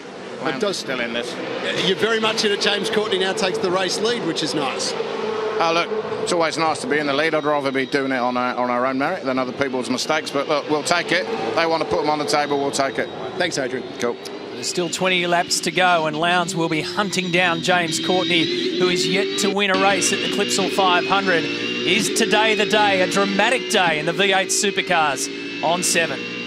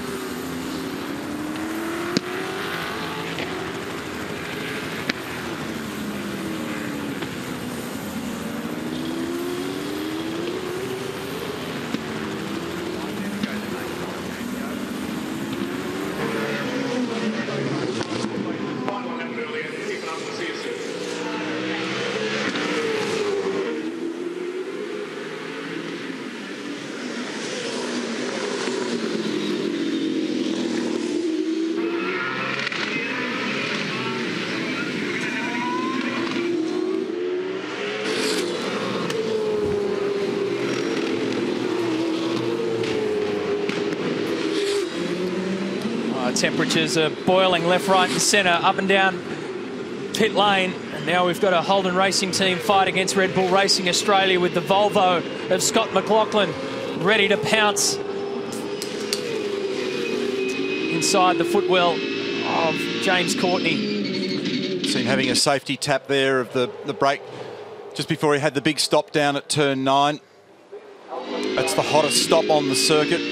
So he just has a security tap to make sure it's there with his left foot. This is round behind the old pit area, turn 11. Now a little hesitant throttle through 13. He just fans the throttle a bit there, squeezes it then, and then another big stop. Okay,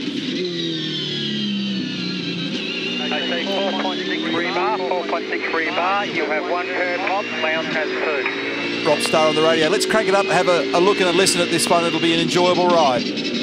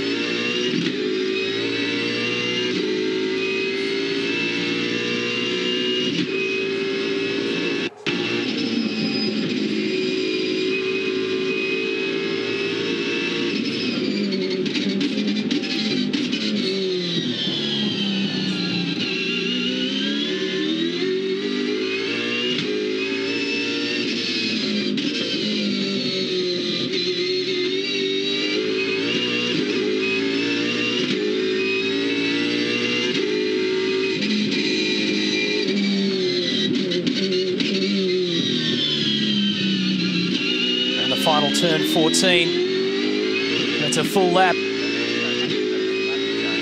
the Parkland circuit from our race leader who's 0.8 of a second. So that's the gap back to Craig Lowndes and Scott McLaughlin at the top three. McLaughlin's got the fresher tyres.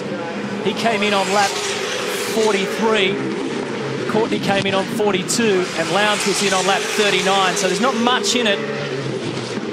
But every little bit helps. So there's Van Gisbergen. Remember, he got pinged. He's trying to climb his way back up into the top 10. He's ninth. Behind him was David Reynolds. Russell Ingall's out of sequence. So David Wall is 11th. And looking back to Tim Slade. So we're on board now with Jamie Whincup. He's in seventh.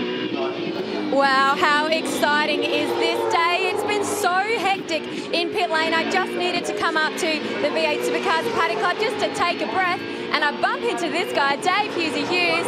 How are you enjoying the Clipsal 500? It's absolutely mad. Do these guys realise it's round one of the series? They're going to run out of cars by round three. I'm loving it. Now, you're, you're in Adelaide because at the moment you're in the middle or you've just started your tour. You're over at the Fringe Festival. You have to deal with this noise. Every night we have to deal with this. It's um, trying to do jokes while people are going at 300k an hour. Still, it's, um, I'm even closer now though, trying to do an interview right on the track. It's good fun. You're in Adelaide for another few, another couple of weeks, and then you're heading off around the country. Where can people find out about your tour and get tickets? Uh, DaveHughes.com.au, I believe, but yeah, just Google me. And I'll be at every racetrack. I love it. Come on. Rick Kelly's my man. 15th, not good enough, Rick. Come on. Get up there. So if you want to be here and enjoy all the fun, you can head to v8supercars.com to get yourself in the paddock club and enjoy all the action with Hughesy. Send, send Hughesy up to the commentary box. Hey, Lee Holdsworth has just done the fastest lap of the race. 121.65 for the Mercedes-Benz. James Courtney has just been pinged for curb hopping again. So he's got two strikes next to his name.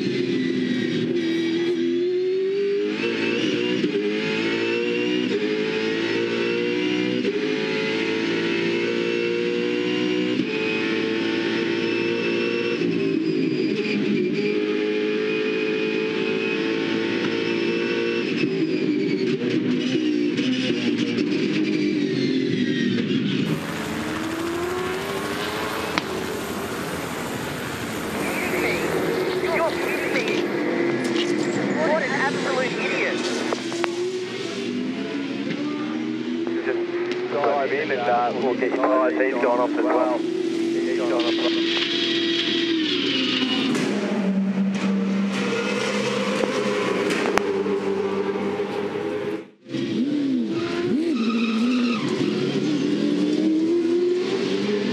Happy on the car, yep. What do we got? Yeah, we can see that. Okay, left.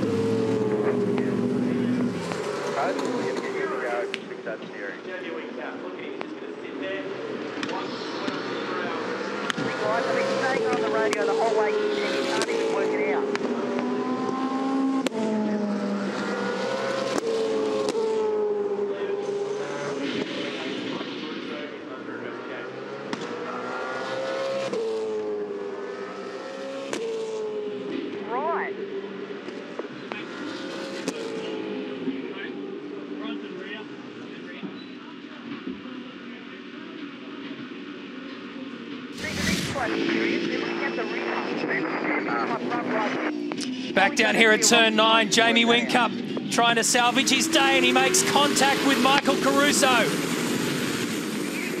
Whincup into the side of Caruso. The Norton's gone and so too is Whincup. That's all busted up at the front. And Jamie Whincup could be a DNF here. The heads drop at Red Bull Racing Australia. He served that penalty. They're not happy about it. He was trying to pick his way through the field and look at the damage to the front left. What a disaster. And that's what's happened when he's ended up back in the pack there and he's had a lunge down at turn nine at Michael Caruso. It's under investigation as well, so even those cards may fall against him. So he's crept back on the grass as we saw Todd Kelly do earlier in the weekend, just to stay out of the way. Here it is from above, from a long way out. Oh, he got a long way down, but lost the rear end in the process, so that's what did it. Actually got far enough up, but wasn't in control in the last part of it. And it's hurt Caruso's car there. You can see the damage. Michael couldn't drive it up to the next corner, so he's in the pit.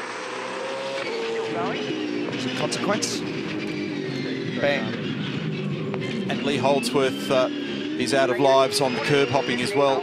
I know he's quite a number of laps down at this stage, but look at the amount of wheel work that's going on there to try and gather all that back up. So here it is again from the other side. You don't see car one sliding quite so much, but it's busted right rear, right rear. on uh, Michael's car, and it's steering from the rear as a result. Busted a toe link or something. Uh, just hearing there's a problem with the Volvo. It's dropped back out.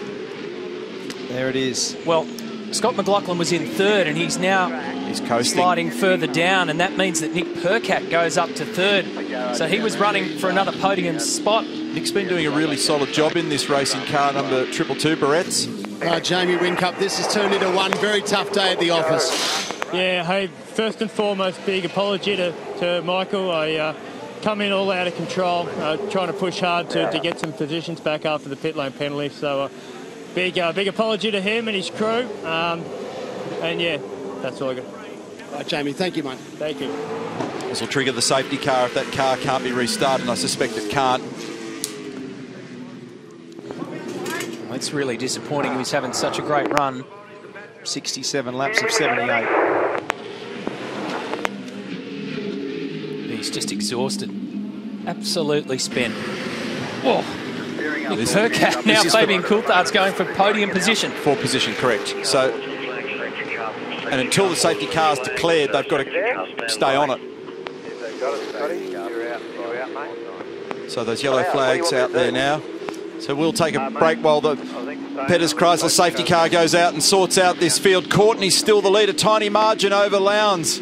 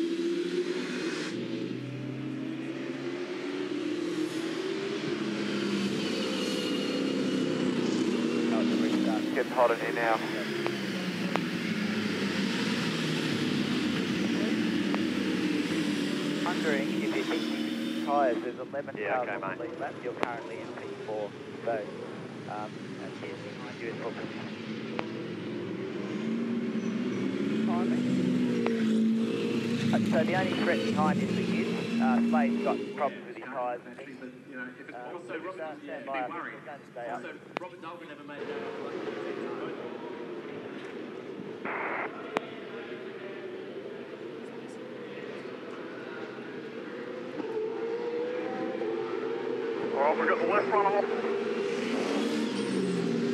Yep, do it up, Doc, do it up.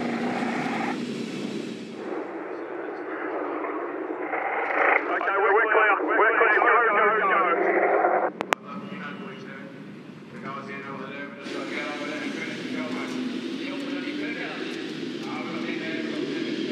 The safety car is just approaching the hairpin, turn nine, so we're clear of that. We just need to press on, get to that queue as quick as we can.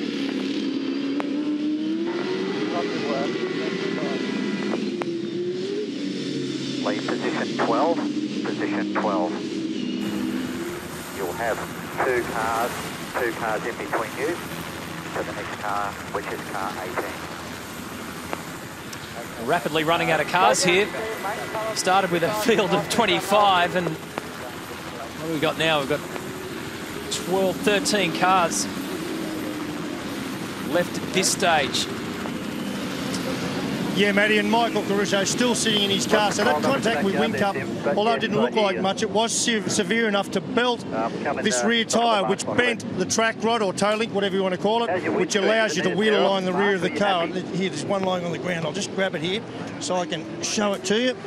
That's what we're talking about. And they're preset to length. The guys pre-do that with wheel alignment so they can whack them in about three minutes. The problem was where it fixes to the outer upright there, it's bent the pin, so locating it has been very, very difficult. So it's a, a, a much longer repair than what would normally be the case. Property gear, property gear. A lot of the force went right into the wheel, Larko. So as Jamie arrived sideways, it was sort of wheel to wheel, bang against the right rear of Michael's car and that's why uh, it would have bent that pin because it was uh, fairly sideways when Jamie arrived.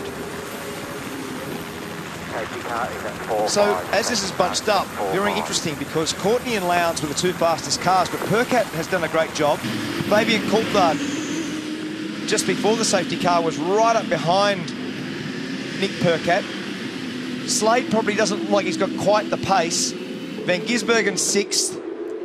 Dave Reynolds also battling for pace. David Wall, James Moffat and Dale Wood. That's your top 10. Yeah, so there's uh, only 12, 12 cars, cars. on the lead lap at the moment. Rick Kelly's 12th and uh, walking wounded after that. Adrian Burgess and Blake Smith, they work together at Dick Johnson Racing in the Courtney Championship year on screen there at the moment. Could be a big result for an Adelaide boy here for Nick Percat in third position. In the series now full time, having done extremely well in the Dunlop Series, Carrera Cup. At 11. Now at 11, flight at 11, you maintain 50 to 60 k's, all the way to the A to Z time. Remember that uh, Nick stepped in for James Courtney, injured last year after Phillip Island. He ran at Sydney Olympic Park at the final event. Great shot there of James looking back at Craig Lowndes. He heard Rob Starr say between 50 and 60k, all the way to the A to Z sign. Given the controversy about that today, he will ensure there's a speed readout right in front of him on his dash. So now there's no weaving. They're all directly in line. You watch them pop out of the line when Courtney gets to the acceleration zone. That's the AZ squares on the fence. Right to about now. Two, one. Go, go, go, go, go, go, go. Courtney peels away. Percat covers Coulthard. It's going to be a mad dash to the finish. And it's going to be brutal at the front because Courtney and Lowndes are going to play hardball here for sure. So So's Van Gisbergen. So's Coulthard because his speed's good. Got to look at the curb hops because Coulthard hasn't got a curb hop at all. Courtney and Lowndes have both got two. Van Gisbergen up to fifth now. Right in behind Fabian Coulthard. So the pressure will be on the Adelaide boy, Nick Percat, to hold Fabian behind. And the pressure's on Craig Lowndes to have a dive at James Courtney. Early laps like this is the time to do it because tyres are relatively cold at the restart and Van Gisbergen straight down the inside of Fabian. Good pass. Serious recovery for him given the pit lane penalty earlier. So Courtney yet to win a race at the Clipsal 500. Lowndes now a six-time race winner at this circuit. Percat, first full-time season. We know he's already got a Bathurst title under his belt. Van Gisbergen pulling it back after a disaster penalty. That car that Nick Percat's driving is the oh. car that Tony D'Alberto had last year, and how loose are these blokes over the top of the curb there? Well, he tried to do it because he knew that was his last curb hop for Courtney. He was going to go over, straight over the curb, and he kept on turning it. And Percat just got one as well. So now the top three are all on two strikes. A one more and a bad sportsmanship flag, and after that they do a pit tour. But this is going to be a riveting end. They've got a margin over the third place, and it's a long way from done here. And how's that for an explosive pack? You've got Nick Percat in his rookie year in the main game. Shane Van Gisbergen, Fabian Coulthard, Tim Slade's not far out of this. There's another South Australian. That'll get him up in the stands here as well. Percat covers and Van Gisbergen's going to try and sneak round the outside to try and get the line for the next one, but he can't expose too much because Coulthard will snatch a spot. Van Gisbergen's very good at this next section, Neil. Up and over the curb at the second last corner. He's a little bit too far back this time, but he's pace in this section right here. That's the spot that Shane's got to focus on to be able to get that manoeuvre done and down the inside of Nick Percat. On board now with Slade.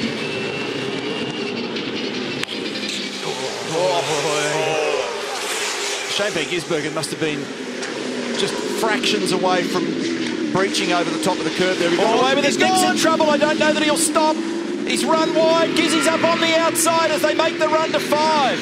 If he can sneak a, a little further along, he'll have track position. He didn't get it done.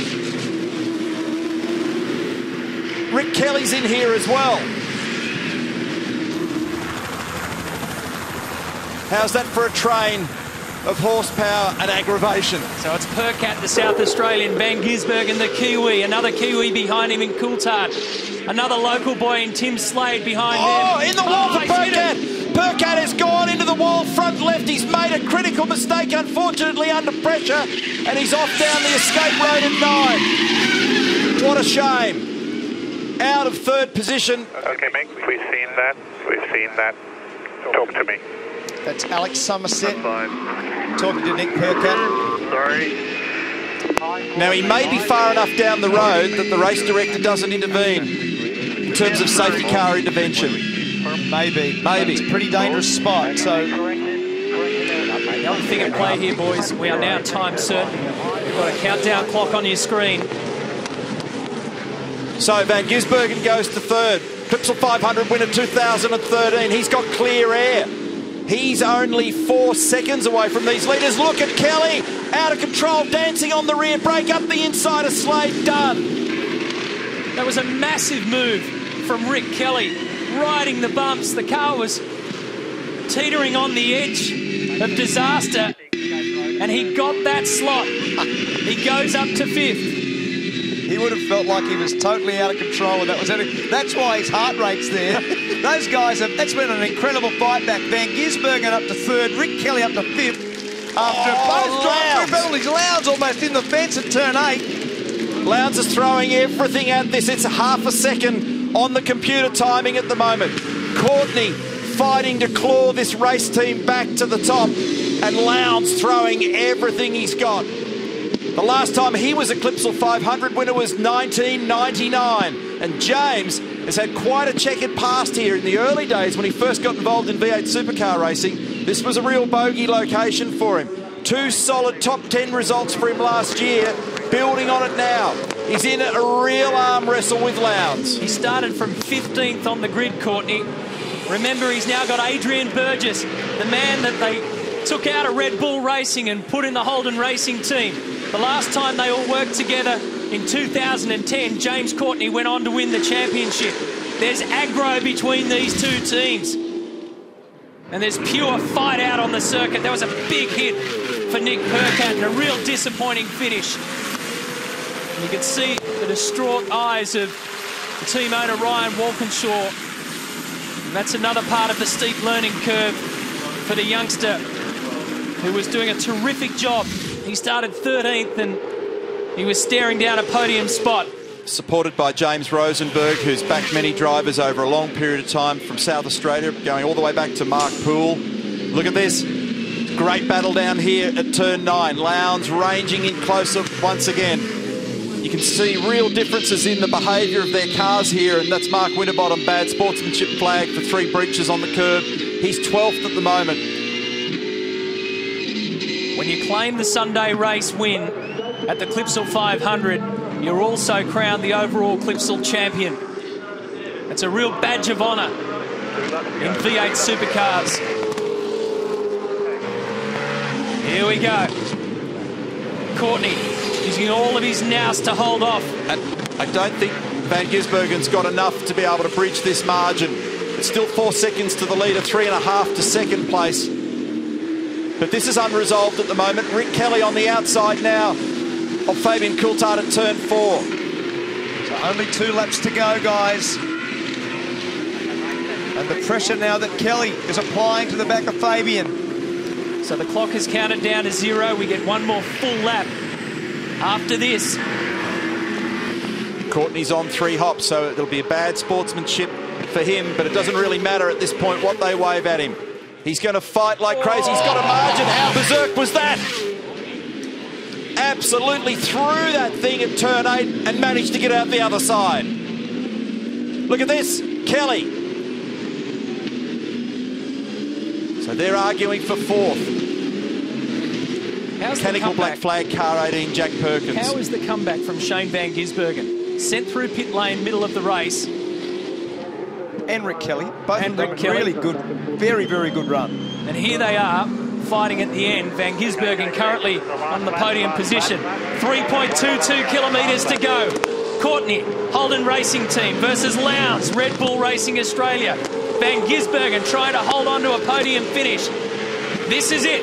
The Clipsal 500 crown is at stake right here. So 10 turns remaining to resolve the question of the Clipsal 500 champion for 2014. Lowndes has been a specialist on occasion down at turn nine. Does he have enough pace? This is the one, turn seven. Last time around, Courtney threw the whole lot at turn eight, where you are millimetres away from catastrophe. What does he do this time around? He's just got to get through cleanly, oh! but Jack Perkins. So there's traffic on the oh, clips the wall. got away with it. Into the concrete.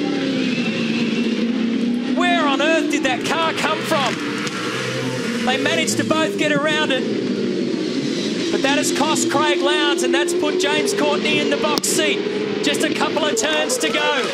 The last time we saw him in 2013, he was all busted up in Phillip Island. He comes back with effectively a brand new car. And the rivalry between the Holden Racing Team and Red Bull Racing Australia, it's on. Courtney gets the win. Lowndes second. Van Gisbergen third.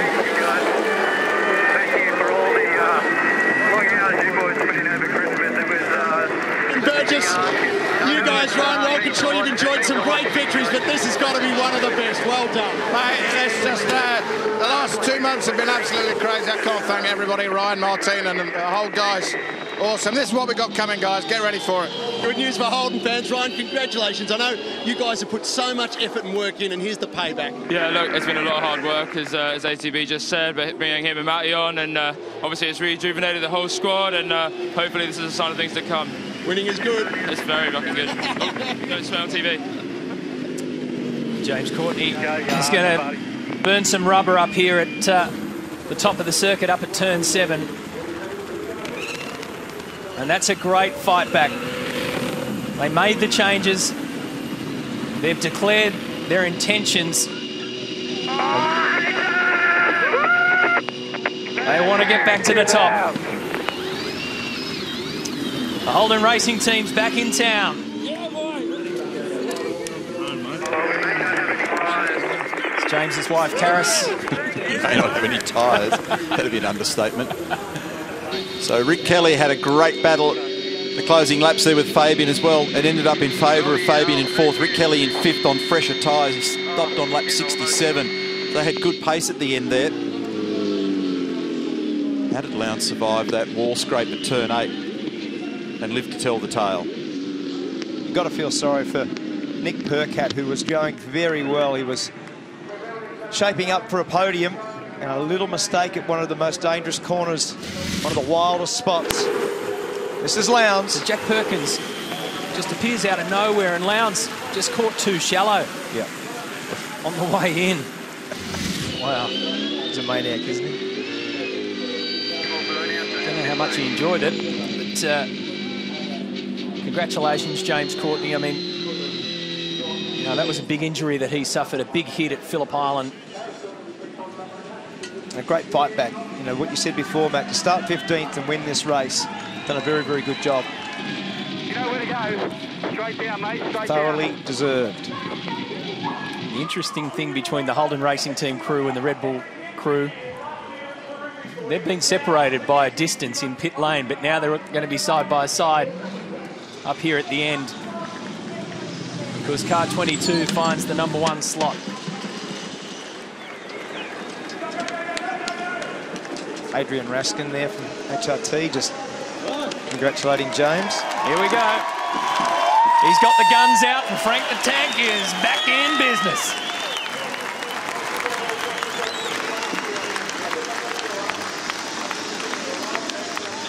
Said before, it's a badge of honour, this one, the Clipsal 500, because of so many reasons. It's the toughest way you can start the season. You can fight your way through 500 Ks across two days and finish on top. You've shown your medal in this game. You know that James Courtney's done everything there is to do in this sport pretty much. He's won a championship, but now he's got a race victory and a Clipsal 500 crown as courtesy of being the Sunday race winner next to his name.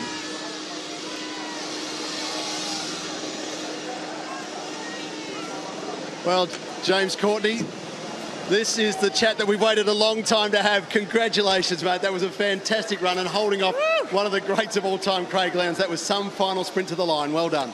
Yeah, it's a bit of hard work there. Uh, we had really good car pace. We knew this morning the car was good. Qualifying didn't work out well for us, but uh, man, it feels good after all the stuff that's gone on, Brett. Everyone home knows they've been on the journey, and to uh, to come here, reward the guys after putting you know the ridiculous hours those guys put in over Christmas. I can't thank their families and enough for letting them come and work for the team and put in all those hours. But uh, amazing effort. Adelaide, Holden victory. It has to happen. We've thrown down the challenge for the year. Well done, James Courtney. Cheers. Thanks, everyone at home. Enjoy the podium. Well, Craig Lowndes once again up there fighting all the way. Lowndesy, did you did you see a chance to get past James Courtney at all there? Uh, not in the end, no. I think in the middle part there, we uh, we were looking after fuel, and you know he got by me, and, uh, and of course then our fuel numbers got better, and we started to attack. But he had good pace, and it's congratulations to all those guys at HRT. Obviously done a really good job today, but uh, you know thankfully we, we got another good uh, podium today, and it's good for the championship. It's great for the championship. You go away the bag of points and lead in the championship, Lowndesy. Well done. Thanks, Brett. And Shane Van Gisbergen, another fighting performance for you. It's been a fantastic weekend. Great way to start the year. Yeah, we had some good speed and some good battles there, but a little confused as to why we got the drive through, but I guess I just crept forward. I, I don't know, but if it was my fault, it's my fault. I'll accept it. But um, yeah, great to be back on the podium. We had really good speed and pretty fun race there. Did the penalty really fire you up?